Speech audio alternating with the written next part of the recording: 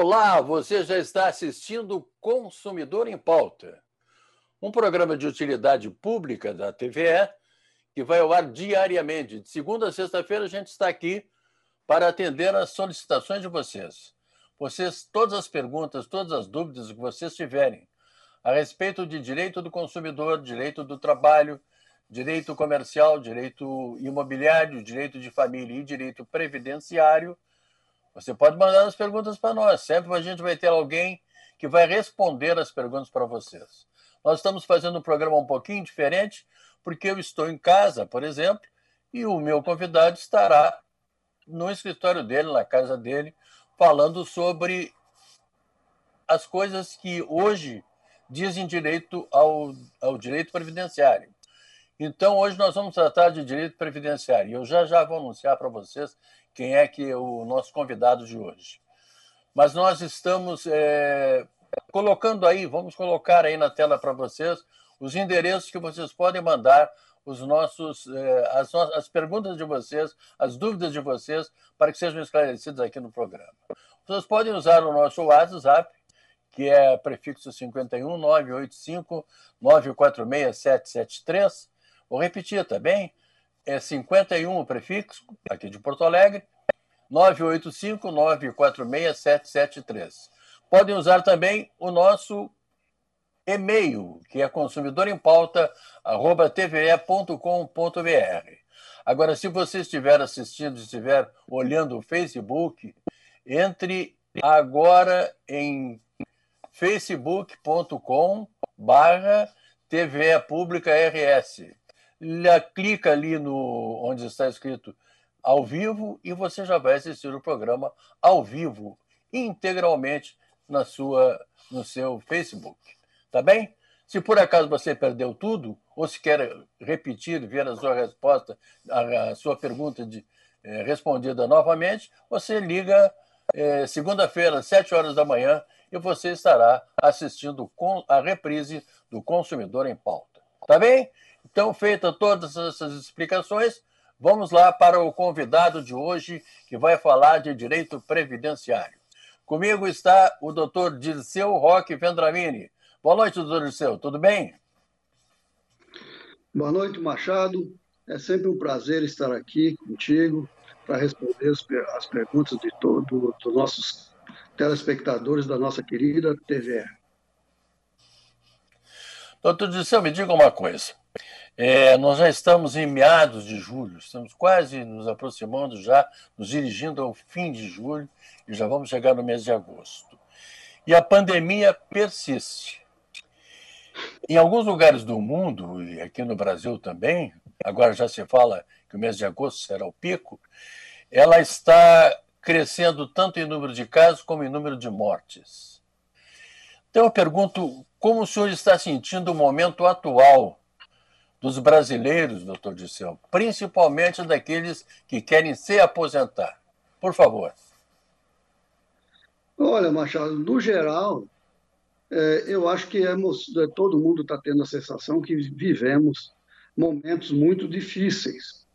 Momentos difíceis de incertezas, muitas tristezas, tristezas por uh, perdas de pessoas queridas, perda de trabalho, perda de emprego, perda de renda, perda de, de, de, de direitos, inclusive, né? Eh, haja vista as modificações do direito previdenciário e os direitos sociais em geral. Né? É, e isso aí meio que, que afeta as pessoas na, no ânimo, né? no astral. Muitas pessoas adoecem uh, com depressão, uh, só que uh, não há outro jeito, nós vamos ter que enfrentar isso de, de peito aberto nós temos que é, chegar no momento de sacudir a poeira e dar a volta por cima. Né? Mesmo porque aqui no Rio Grande do Sul a gente tem um ditado, né? não está morto quem peleia, nós vamos ter que pelear. Agora, os, o pessoal que busca aposentadoria nessa época, ou então outro benefício previdenciário, eles é, também enfrentam mais dificuldades porque eles estavam acostumados a buscar esses direitos nas agências do INSS. E as agências do INSS estão fechadas já faz um bom tempo. Estavam previstas para abrir alguns dias atrás, não foram abertos, foi prorrogada essa, essa abertura, e agora a próxima data prevista é dia 3 de agosto, mas é uma abertura gradual. Acredito que aqui na nossa região sul, principalmente aqui no Rio Grande do Sul, não deve abrir nem dia 3 de março, porque aqui o pico da doença nem chegou ainda. Dizem agora que é para que é para agosto, o pico. Então não seria lógico Doutor... esperar Pois não. Doutor Giseu, eu gostaria de, de, de, de, de comentar com o senhor o seguinte também. Tem muita gente que, que os prefeitos, os governadores, liberam um pouquinho e as pessoas já saem todas para a rua, aí esquecem da máscara, não usam máscara, se aglomeram em locais públicos ou não, em bares, restaurantes, nem tão abertos quase, mas a pessoa tem que sair de casa e tem que lembrar que tem que usar a máscara. Sem dúvida. Essa pandemia só vai ser vencida com a ajuda de todos, com a colaboração de todos. É, e o que se vê na rua, às vezes, é coisa que é gente que não parece que não acredita que, que, te, que estamos enfrentando um vírus poderoso. Tão poderoso que hoje está presente em praticamente 95% de todos os 5.500 municípios do Brasil. Então, é, praticamente só bem pouquíssimos é, municípios, pequenos municípios, que ainda não tiveram casos, casos de mortes. Então, é por aí, a gente tem que perceber que todo mundo tem que colaborar, saia de casa. Só no, quando for necessário, quem puder, né? quem não está numa atividade essencial, saia o mínimo possível, porque ele vai estar colaboração, colaborando para si e para os outros também. E, e, e quando sair, use máscara, pelo menos. Use máscara, faça higiene, sempre que possível, álcool gel, uh, sabão, né? Então, tem que, todo mundo tem que colaborar.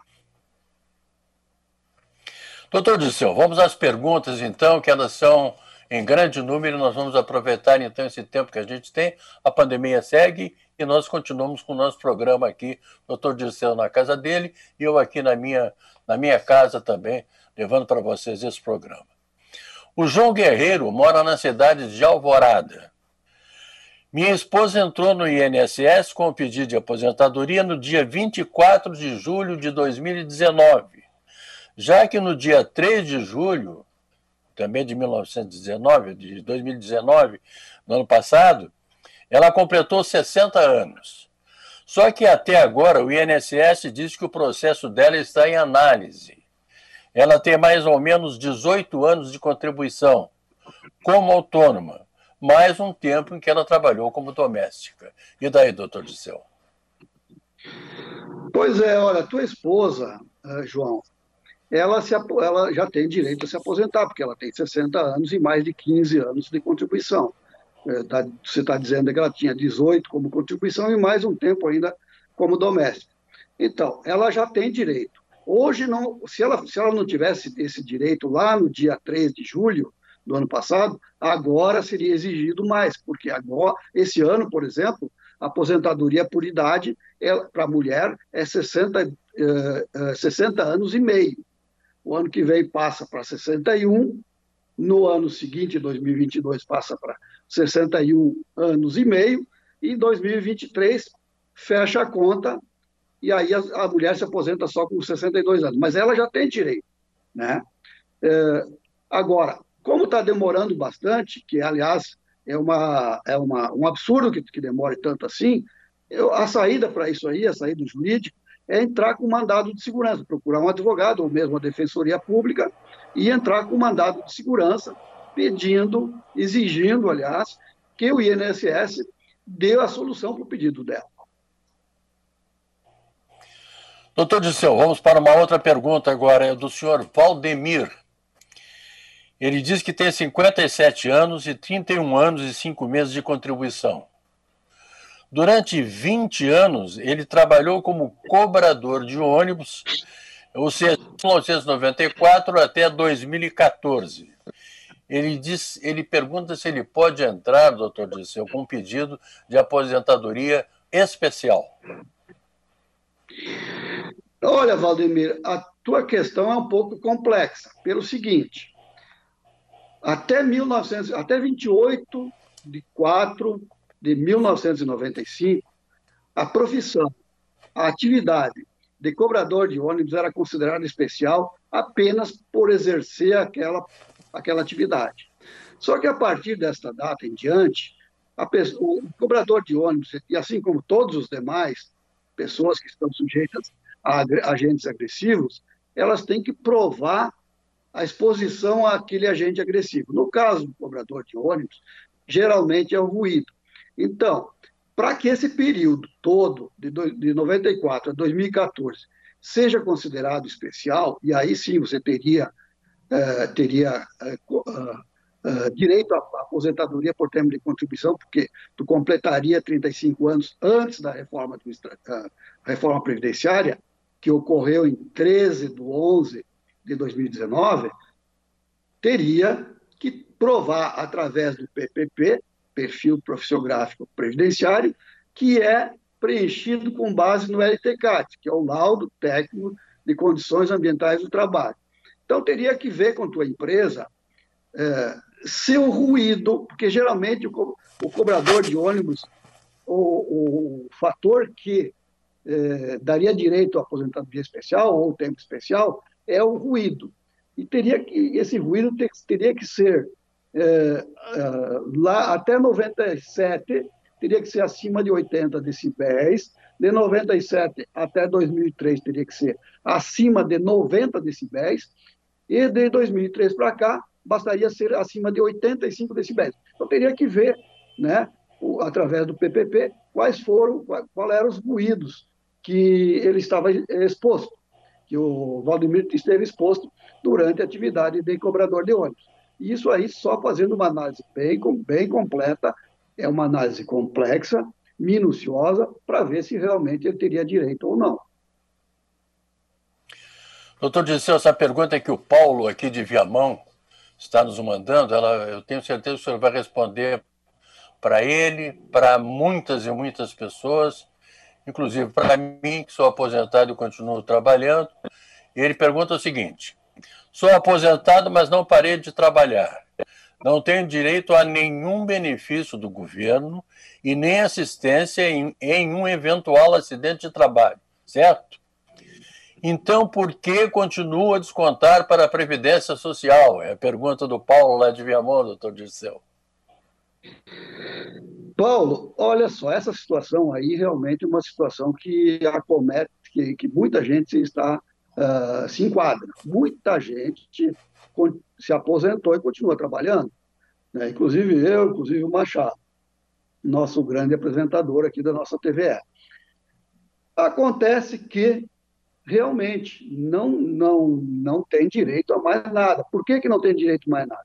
Porque está previsto na lei que a pessoa que continua trabalhando tem, mesmo estando aposentada, já continua, é obrigada a, a, a contribuir para a Previdência Social devido ao que, ao, ou seja, baseado no princípio da solidariedade, ou seja, aqueles que é, podem trabalhar têm que contribuir né? E aqueles que, que para justamente fazer um lastro financeiro para pagar aqueles que não podem mais trabalhar, porque, porque estão aposentados e não podem mais trabalhar. Então, é o princípio da solidariedade e também porque a lei assim diz que tem que continuar contribuindo. E realmente não tem direito a praticamente mais, mais nada da Previdência, a não ser uns benefícios que, aliás, é, é, é, é apenas.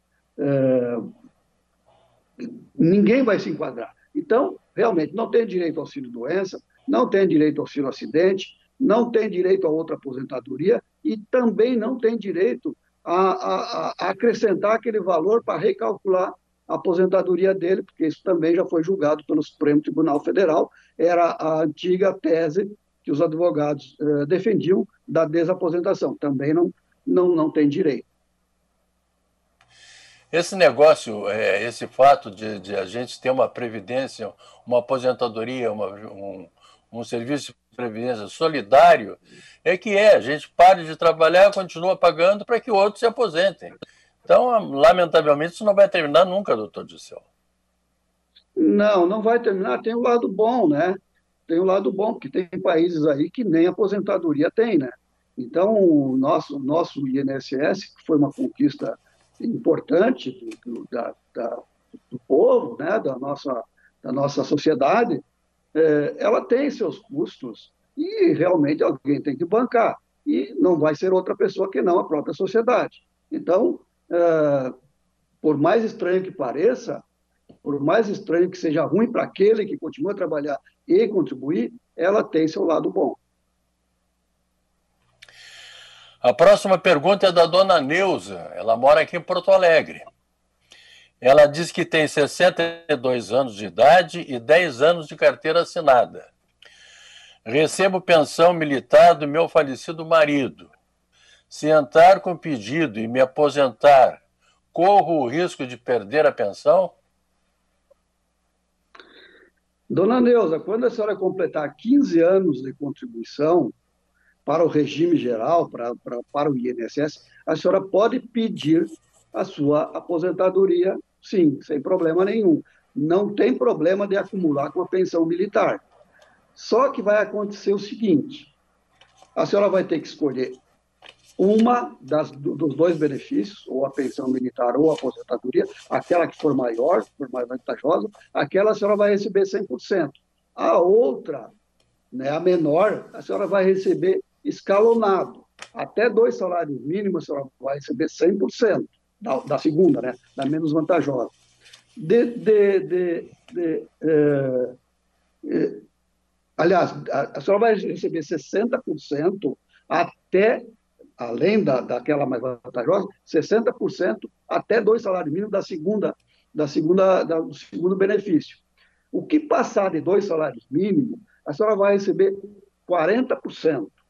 E o que passar de, de, de três salários mínimos, senhora vai receber 20%. E o que passar de quatro salários mínimos, senhora recebe mais 10%. Então, é uma conta complexa que tem que fazer, mas a senhora pode acumular e, mas nessas, nessas proporções aí, e dessa forma que eu acabei de falar. Vai receber integralmente a que for de maior valor, e a outra vai receber escalonadamente uh, nessas proporções que eu acabei de falar. A próxima pergunta é da dona Andréia, que mora no bairro Bom Jesus, aqui em Porto Alegre. O benefício do meu filho, que é deficiente, foi cortado sem que mandasse qualquer aviso. Tenho gastos muito altos com ele, mas alegam que meu salário uhum. também é alto. Gostaria de saber se tem alguma maneira de eu conseguir que ele ganhe alguma renda, já que ele é maior e não consegue trabalhar. Tem, doutor Dirceu? Olha, de fato, Andréa, de fato, o aspecto renda familiar é um dos dados importantes para analisar se a pessoa tem direito ou não tem direito ao benefício assistencial. É, é, mas isso aí não é uma análise muito simples. Isso aí teria que ver a dinâmica familiar, né? se eles moram tudo junto, é, se, se, e qual é a renda familiar realmente, qual é os gastos que tem essa, esse deficiente.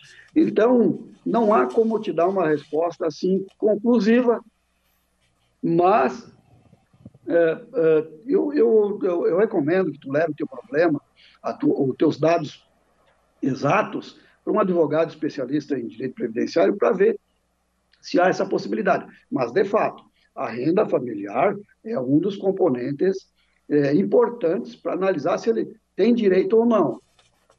É, não há como te dar uma resposta, porque não é simples isso. Tem que ver todos os aspectos a, a, todos os aspectos hum, nessa família. Se, por exemplo, ele puder, pudesse ou puder ser desvinculado da família, aí seria uma coisa. Mas se ele está inserido na mesma casa, vive às expensas dos pais, aí é outro, outro, outro, outro enfoque.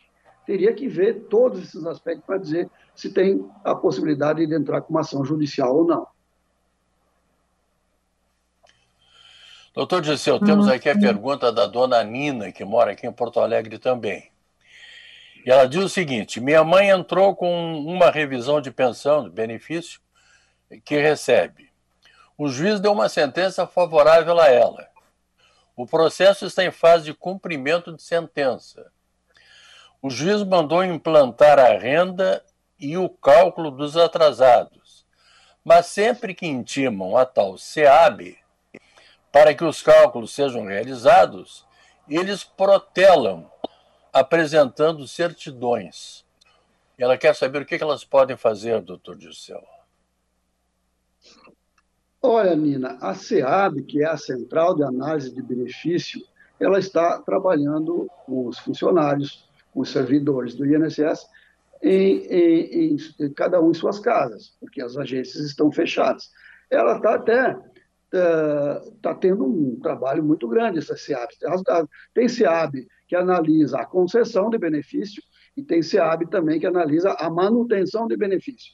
Hoje em dia está trabalhando mais realmente a SEAB de concessão de benefício. Mas não há outro jeito, não, Dima. É fornecer os documentos que a SEAB pede né, e, e fornecer eh, o mais rápido possível, porque quanto, quanto mais rápido fornece, mais rápido eles vão dar o resultado.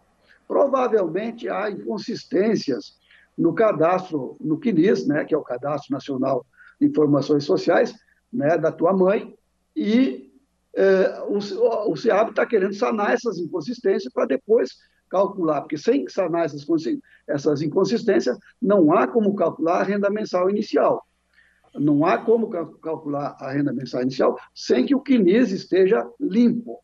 Né? No momento que estiver bem limpo, aí sim ele pode calcular facilmente a renda mensal inicial e também os atrasados. Então não há outro jeito, é fornecer os dados que a SEAB está pedindo.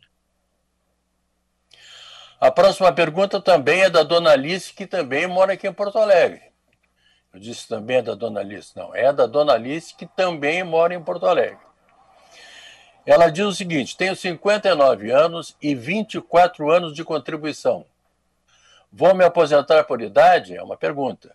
O meu benefício será o mínimo ou será calculado sobre as contribuições? Como será feito, doutor Dirceu? Alice, você vai se aposentar quando completar 61 anos e meio, por, em virtude de uma das regras de transição. Aposentadoria por idade para mulher, antes era 60 anos, até, até a reforma da Previdência, e agora, depois da reforma, é de 62 anos. Mas tem a regra de transição, que, por exemplo, neste ano é 60 anos e meio, o ano que vem é 61, no próximo 61 e meio, e em 2023 fecha a conta em 62, e aí não aumenta mais. Então, uh, no, ano de, de, de, de, no ano de 2022, né, tu completas 61 anos e meio. Quando, no dia que tu completar 61 anos e meio, tu pode pedir e vai, o teu benefício vai ser calculado da seguinte forma.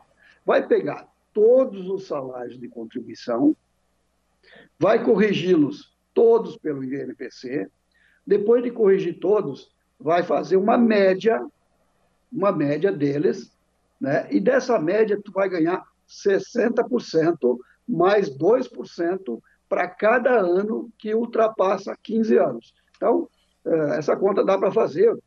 Normalmente os advogados têm um software que faz, é eh, né? não é difícil de fazer.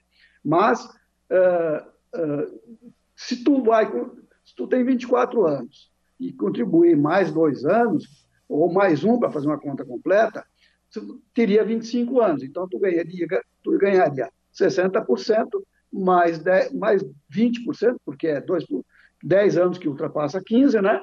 Então, tu ganharia 80% da média, dessa média corrigida. Doutor Disseu falou agora em que tem um cálculo que tem que fazer, mas que não é difícil. Eu acabei me lembrando de uma história Lá de São Gabriel, lá o pessoal diz muito assim, é, tá ruim, mas tá bom. É mais ou menos a mesma coisa, né? Tem uma, uma, um cálculo difícil, mas é fácil. Então vamos lá. É, a próxima verdade, pergunta é da dona Francisca. Ela fez 59 anos em março. Diz que tem 20 anos de contribuição. Ela quer saber quanto tempo falta para ela se aposentar, doutor Dirceu. É, Machado, só, só para complementar da, da, pergunta anterior, é, é um cálculo difícil para fazer para quem não tem o software. Mas tendo um software, dá para fazer facilmente. Para a dona Francisca, para dona Francisca, é, ela vai se aposentar também com 60, uh, 61 anos e meio. Portanto, em 2022, quando ela completar 61 anos e meio. Eu vou lhe perguntar, uh, vou lhe trazer a pergunta da dona Anitta, que também mora aqui em Porto Alegre. Ela diz que tem 40, 40 anos de idade e pagou somente dois anos de, de, para o INSS quando ela tinha 20 anos. Agora ela quer saber como fazer para poder se aposentar. Tem alguma coisa que ela possa fazer, doutor do céu? Claro que há, há sim, dona Anitta, há sim. A senhora deve voltar a contribuir, que, aliás, contribuir para o INSS, na minha opinião, é o melhor investimento que o trabalhador faz na vida. Não tem nada que dá um retorno melhor do que contribuir para o INSS. Por quê? Ela vai garantir, no mínimo, uma renda de um salário mínimo para o resto da vida. E ela vai se aposentar com 62 anos de idade, né? Dona Anitta vai se aposentar com 62 anos de idade e vai ganhar no mínimo um salário mínimo. Se ela, se, ela é, se conformar em ganhar apenas um salário mínimo, ela pode contribuir com 11% de um salário mínimo todo mês, que vai dar algo em torno de 115 reais por mês, né? Ou não, um pouquinho mais, porque é, é 115 reais por mês, mais ou menos. É 11% de 1.045. Eu não, vou, não, sei, não sei fazer essa conta de cabeça. E se ela for uma pessoa de baixa renda, estiver inscrita nos, no, nos, nos programas sociais do governo federal, Bolsa Família, e também estiver inscrita no cadastro único da prefeitura, ela pode contribuir apenas com 5% do salário mínimo e vai garantir, pelo menos, a, a, uma aposentadoria no valor de salário mínimo. Agora, se ela quer uma aposentadoria de mais de um salário mínimo, tipo assim, ela quer uma aposentadoria de, no mínimo, 3 mil reais, vamos supor. Ela vai ter que contribuir com 20% sobre 3 mil reais todos os meses até completar 60 anos de idade. Aí ela vai ganhar um valor maior do salário mínimo. Não vai ser 3 mil, porque também o cálculo é aquele cálculo que eu acabei de falar, vai ser 60% da média dos salários de contribuição e mais 2% de todo o tempo que ultrapassar 15 anos de contribuição. Ela tem 40 agora. Se ela contribuir até os 62, ela só tem dois anos de contribuição. Ela pode contribuir durante mais 22 anos, vai dar 24%, ela vai ganhar algo em torno de 80% daquela média que vai ser feita de todos os salários de contribuição dela. Seu, muito obrigado pela sua companhia aqui. Nós tivemos um prazer muito grande em recebê-lo. Volte sempre, as portas estão sempre abertas para o senhor falar em direito de eh, previdenciário. Lembrando a vocês que na segunda-feira, seis, e meia da, seis horas da tarde, eu estarei de volta para tratar de direito do consumidor. A todos vocês, muito obrigado, muito boa noite e até lá.